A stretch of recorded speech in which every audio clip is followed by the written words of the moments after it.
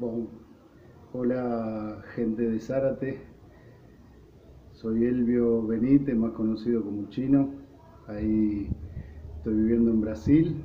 La ciudad se llama San João da Boa Vista, en el estado de San Pablo.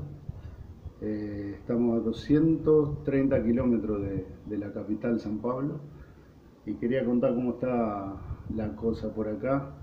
Estamos haciendo cuarentena.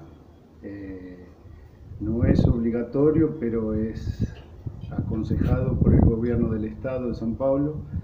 En definitiva hay, hay algunas cosas que dice el presidente y otras el gobernador, entonces tenemos que hacer lo que, lo que manda la, la conciencia. Entonces, eh, acá particularmente la familia estamos todos de, de cuarentena y trabajando en casa, tengo la posibilidad de trabajar, la empresa me dio todas las cosas para trabajar desde casa, entonces eh, por lo que vi allá en Argentina también eh, y he recomendado eso.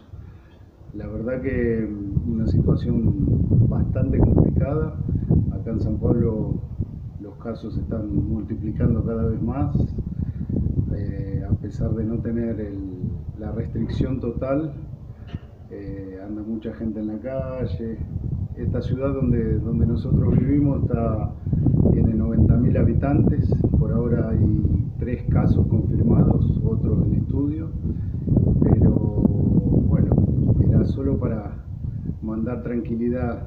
Estoy en contacto siempre con, con los amigos, con la familia, todos me preguntan, igual eh, les digo a todos que vamos a tener que tener paciencia y, seguir haciendo la cuarentena en cuanto digan.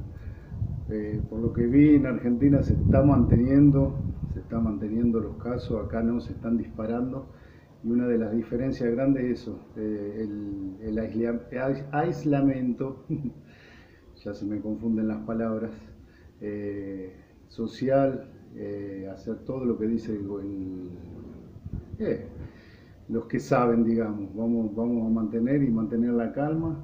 Mientras tanto tenemos que pasar esta crisis lo mejor posible y como, como hablaba con todo, tenemos que, tenemos que tratar de, de mantener la calma, que esto nos va a hacer mejores personas para, para el futuro. Os mando un abrazo a todos, espero que estén todos bien. Eh, ya, ya, dije estoy en contacto con todos los amigos de allá, la familia. Así que mando un abrazo y nada más.